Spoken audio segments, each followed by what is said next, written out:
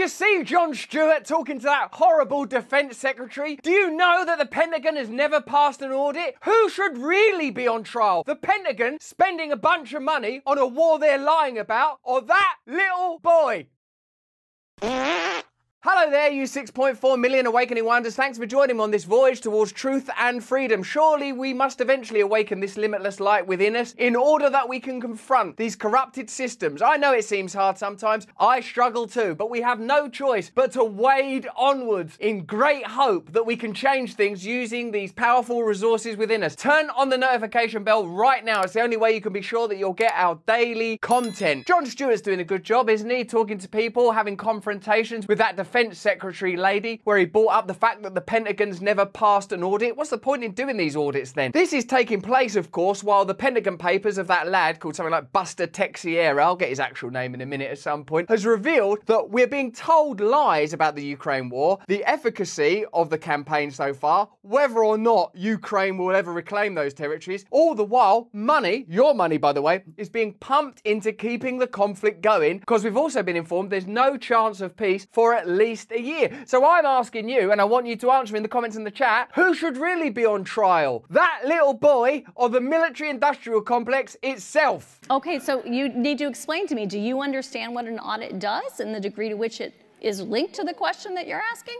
I believe so. Okay, go ahead. Give me, I, I give don't me your, mind, I give don't, me, give I me don't your mind explanation. Learning. Uh, no, I, I, I don't mind learning. So, Has she ever watched Jon Stewart? She's been rude, isn't she, to someone who most of us are aware is pretty sharp and knows how to behave on camera, knows how to conduct an investigation, knows how to interrogate people. The narrative we're interested in here is why are we focusing on that little boy, Buddy Boy Teixeira, when plainly people in positions of considerable power are literally contributing to the deaths of military personnel? Let alone the fact that people that have given their lives in service or have suffered in service aren't being properly looked after. You know there's a bunch of people in the military that are living on food stamps whose actions and decisions are actually leading to the death of soldiers and military personnel. Is it Buddy Teixeira? Or is it high up people in the defense industry who are masking the facts about the war and facilitating ongoing contracts? Let me know in the chat. what, I would suggest is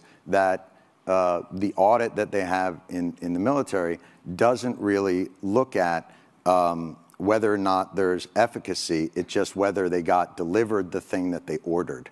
And That is, that is any audit. That is any audit. That is true. But generally, those audits aren't $400 billion for Raytheon and $1.7 trillion for a plane that doesn't seem to be doing. Like, there is a lot of waste, fraud, and abuse within a system. Audits and waste, is- fraud, and abuse are not the same thing. She really thinks she's going to be able to get through this conversation simply through analysing the etymology of the word audit. You don't seem to know what the word audit means. That's not the way out of this conversation. Because obviously the question underneath the question is, is the reason that these audits being failed because there's like loads of corruption and money's getting skimmed off the top and creamed off the top? I don't want it to be this, do you? I want it to be that Jon Stewart sits down and talks to a defence secretary and she goes, no, honestly, what it is is, this is how the money's being spent and we're really doing our best. I know it looks on the surface like Raytheon and Northrop Grumman and BAE system and all this. looks like what they're doing is they're presenting us with a bill and then they're taking a load of profit. Then these weapons aren't making it to Ukraine and actually we're prolonging that war so we can keep these deals going. I know it looks like that, but it isn't that. The problem is actually this little boy, this bloody little boy. I, I say put that lad in prison for at least a couple of thousand years till he's learned his bloody lesson. So let's uh, decompose Then these please pieces for a educate me on, on Sure. what so an the- audit the is exactly what you just described, Yes. which is do I know what was delivered to which place? Right. Also, you can't be all confident and haughty if the Pentagon's failed five consecutive audits. At that point, I don't know, man. I mean, have you ever failed an audit? Like, right, what you been doing with the money? Oh, I don't know, just spent it, I suppose. Just asked me nan. My uncle had some of it. All right, well, we'll see in a year. If that happened like four or five times, you feel like you'd be in prison by about the third one, wouldn't you? The ability to pass an audit or in a, the fact that the DoD has not passed an audit is not suggestive of waste, fraud, and abuse. That is completely false right there. Lately, we're being granted conversations and confrontations that are emblematic of what we suspect is the dynamic between us and the powerful. Whether it's Elon Musk and that BBC reporter, and you see like that he doesn't want to answer questions and he thinks that the BBC are beyond reproach, or this conversation between Jon Stewart and this lady, or some of Matt Taibbi's confrontations, what we're getting confronted with is the pose of authority and power. A kind of superciliousness, a self-entitled authority, a kind of because I said so mentality. I'm not here to talk about that. We're not here to answer those questions. Well, guess what? Those questions are coming. There's a deluge of those questions because people don't trust the media, people don't trust the government, people don't trust corporations anymore, and you're right not to trust them. You're right. We don't have to indulge in conspiracies. What we can plainly see, though, on the basis of these five failed audits and the media furore surrounding Buddy Boy Texas lad, is that people want us to look over here at a lad revealing information in chat rooms that doesn't put anyone at risk. That Espionage Act should be called the Don't Say Stuff We Don't Want You to Say Act. So what is now it it's a question of? of it's suggestive that we can't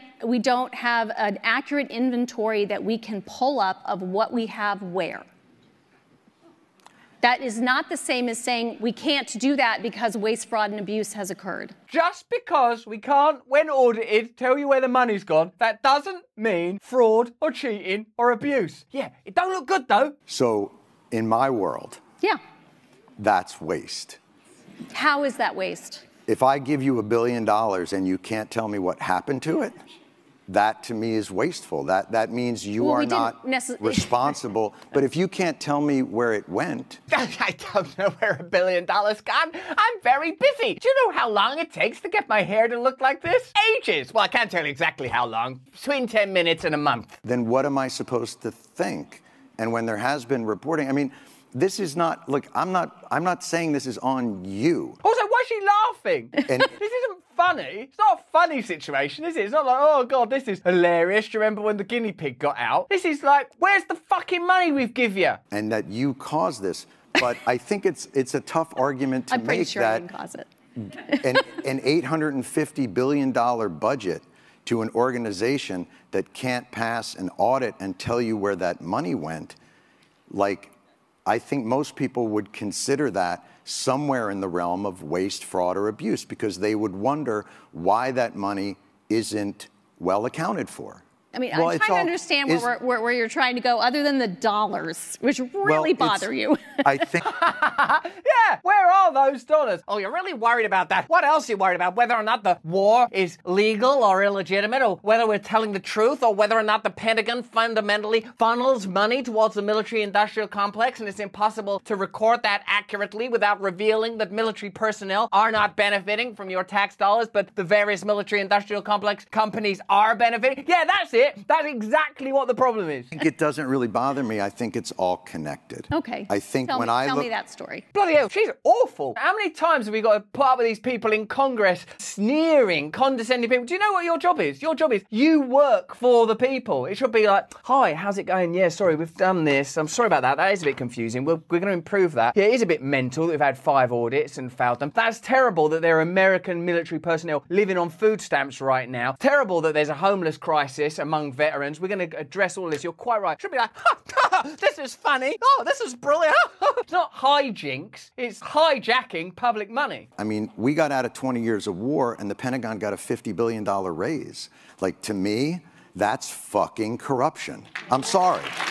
And if, like, if that blows your mind, and if you think, like, that's like a crazy agenda for me to have, I I really think that that's institutional thinking. Jon Stewart there staying relaxed and spelling it out to a giggling, shrieking, awful government apparatchik. Let's have a look at it in more detail. Last year, the Department of Defense revealed that it had failed its fifth consecutive audit. The Biden administration provided details this month on its $886.3 billion budget proposal for national defense in fiscal year 2024. The Pentagon's spending path would put the military's annual budget over the $1 trillion threshold in just a matter of years, its chief financial officer said recently. When an institution institution receives that much revenue, they have to be accountable and responsible. The problem with uh, the defense minister there, the deputy defense minister, is not just that her haughtiness is socially unpleasant, it's that it aligns very neatly and beautifully with the attitude we can assume is institutional based on these facts. Oh, it seems like they don't care and they think they can do whatever they want and they don't even have to answer questions or indeed pass audits because their power supersedes the power of government and indeed democracy. And no matter what party's in, they're going to ensure that the military industrial complex continues to thrive, even if that means sponsoring and prolonging foreign conflicts that lead to the death of American military personnel, whose image they're willing to use as propaganda to mask their corruption, and who they're willing to put to the forefront when conducting a trial against poor old Buddy Teixeira in order to say, hey, we're doing this because we want to protect American personnel. If you do want to protect American personnel, then use the resources that the American taxpayers are giving you to give American service people a decent, fair wage and a respectable way of life, instead of, of course, funneling it seemingly unaccountably towards the military industrial complex. Jack Teixeira, suspect in the Pentagon leaks, has been charged under the Espionage Act, which criminalizes the unauthorized retention and disclosure of national security secrets. It carries a sentence of up to 10 years per count, and each leaked document could be its own count. The Washington Post says it has about 300 documents. That means that Jack Teixeira will be 3,021 years old by the time he gets out. I think if he's not learned his lesson in the first 2,000 years, the penal system also needs an audit. The releases of classified information by Edward Snowden, a contractor at the National Security Agency, and Chelsea Manning, an Army intelligence analyst, were treated by the government as catastrophes that jeopardized human lives. This did not turn out to be true. Documents released by Snowden revealed that the government was engaged in unconstitutional spying on Americans, while information that Manning provided to WikiLeaks showed that US forces killed journalists and civilians in Iraq and lied about it afterwards. Despite the government's dire warning, subsequent reviews showed that no deaths could be linked to the disclosures by Manning and WikiLeaks. None. Zero. Not one. So they said it was endangering the lives of military personnel, but in fact, what it revealed was they're spying on you and killing civilians and journalists. How dare you say that we are killing civilians and journalists in Iraq and spying on American people? That put American personnel's lives at risk. How? Okay, give me a minute. Well, we're going to audit you on this in a moment. Oh, no, I can't be expected to pass audits. Audits are complicated. Don't even mention those to me. I'm going to need a couple of billion dollars worth of missiles even to get through this audit. One of the leaked documents revealed the US doesn't expect Russia Ukraine peace talks in 2023. Another leak that was also reported by the Washington Post says the US thinks it's unlikely the Ukraine will regain any significant territory in its expected counteroffensive, a stark difference from what the Biden administration has been saying publicly. So the key thing here is these revelations have made it plain that in private, the Biden administration say they're not going to get any territory back. In public, though, the Ukrainians are brave, strong people. This counteroffensive will be a success. It's worth pumping your taxpayer dollars into it. Well, if they don't believe what they're saying, what is it they believe? And I'll offer you this. Is it possible they believe it's profitable to continue the war? Is it possible they consider it necessary to engage Russia in an ongoing conflict? Once we know that they don't even believe it as a result of these leaks, by the way, no one's ever covering that, no one's covering the content of the leaks, then we have to ask, we have a duty to ask, what is it they believe? Why are we talking about the criminality of young Jack Teixeira, who it seems isn't a plucky little idealist, but just a kid on a chat room revealing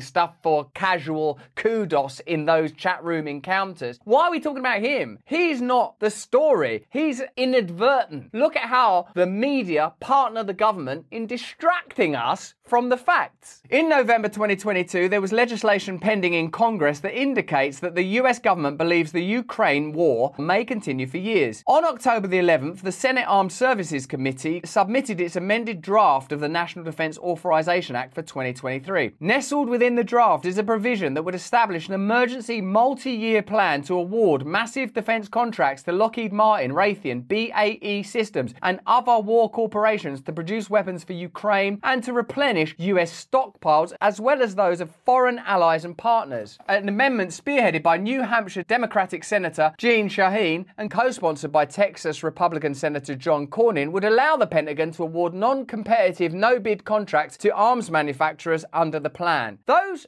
kind of pieces of legislation, sponsored by both parties as usual, suggest that actually what's happening is that there is an agenda to continue funneling public money into private hands. Let me know in the chat and the comments if you agree. And the reason the Pentagon keeps failing audits is because these relationships are kind of messy and potentially corrupt. Congress is supportive of this. They're going to give us multi year authority and they're going to give us funding to really put into the industrial base. And I'm talking billions of dollars into the industrial base to fund these production lines, said the Pentagon's chief weapons buyer, Bill LaPlante. What you really want is these people on trial. Jack Teixeira, if he goes away for a thousand, five hundred, ten years, a million years, it's not going to make any difference to you. It's not going to make any difference to the military. What we should be analysing, auditing, scrutinising, adjudicating is this expenditure. If this doesn't change, the world cannot change. This is a key component of systemic corruption and ultra democratic power, power that is beyond democracy. If we don't address this, nothing can change. Past and current military spending equals 48% of all spent federal tax dollars. So these are not insignificant sums. Half of all federal tax dollars, federal tax dollars, so I guess you've got state taxes as well, but half of all federal tax dollars is going in this direction. This is a significant industry. I mean, it's almost inconceivably large. So the blase, insouciant, haughty attitude of that politician, who you also so you can add that to the eventual figure that won't ever get audited, it's not an insignificant sum, and it's certainly not funny. Before the war ends, many Ukrainians and Russians will die while Raytheon, Lockheed Martin, and Northrop Grumman make fortunes. So this is the key point of the video we're making. Who's causing more deaths? Little buddy boy Teixeira or Northrop Grumman, Raytheon, and the military industrial complex partnership between your government that you pay for and those organisations? If you were to audit it, good luck, and scrutinise it, good luck. What would result? Like, hold on a minute, that meant that we made that decision, and that meant we prolonged it, and that meant we didn't debate this, and that meant a peace deal was taken off the table, and that meant we inspired that coup. Oh, and that means that that money never made it to that particular organisation, and that meant that those service people ended up homeless. That means these service people are on food stamps. Look at all the death. That meant these people committed suicide.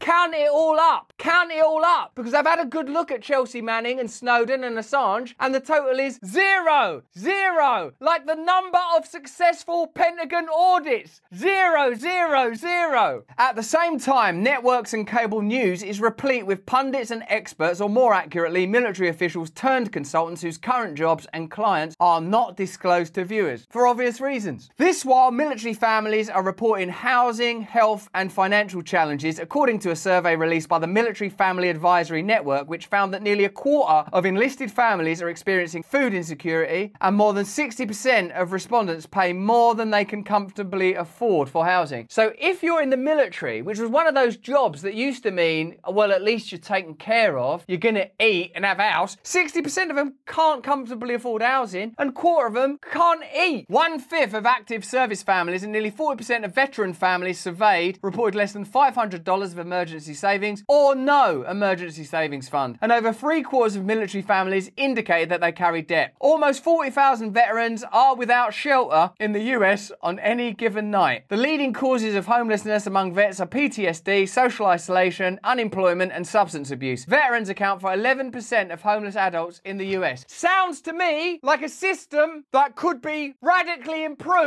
with a few key decisions and a few audits. Although sometimes I read stuff like that and I feel despair, sometimes I see people like that defense minister and I feel hopeless. Actually, it shows that the room for improvement is so vast that we would have to be stupid not to demand it. We'd have to be stupid not to put aside cultural differences and come together in order to prioritize what are plainly the defining problems of our time corruption, systemic abuse of power that takes place beyond the reach of democracy, i.e., whether you vote Republican or Democrat, you're gonna get some version of this. So we have to form new alliances, we have to form a new agenda, we have to create a new manifesto because it's disgusting to me that people that give their lives in service, whether they actually die for it or not, are ending up homeless, are unable to afford food and shelter, while the Pentagon are unable to pass a bloody audit, and while the representatives of the defense industry just haughtily the inquiries of an on screen journalist. We have to demand better. We have to put aside all other arguments until these these problems are addressed. But that's just what I think. Let me know what you think in the comments in the chat. If you enjoyed this video, have a look at either of these. Turn on the notification bell right now and subscribe to our channel so you see the content that we make every single day. Three, six, five. We are not going to give up. You can audit us in one year, 365 videos. More important though than any of that is that you please stay free.